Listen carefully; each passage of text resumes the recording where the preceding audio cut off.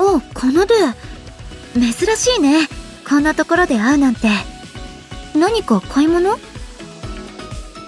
お父さんのお見舞いに行くんだけど花を買っていこうと思って。あそうだ。えなって色のバランスとか見るの上手だよね。まあ絵を描くときにはいつも気をつけてるけど。よかったら花を選ぶのを手伝ってくれないかな彩りよくしたいんだけどいつも迷って時間がかかっちゃうから。